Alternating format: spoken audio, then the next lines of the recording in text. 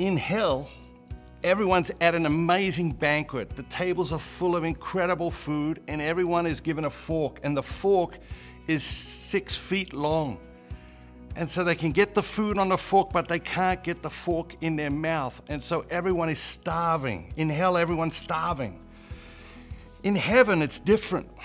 It's a huge banquet. It's an amazing banquet. The tables are full of food stacked to the roof.